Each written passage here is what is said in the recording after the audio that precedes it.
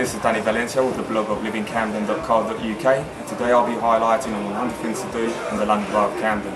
I'm currently inside Shaka Zulu located in the Stables Market in Camden Town. And Shaka Zulu is a, is a restaurant and bar. They serve some delicious South African food. They also have a lounge area so if you fancy having a few drinks after your meal I definitely recommend it.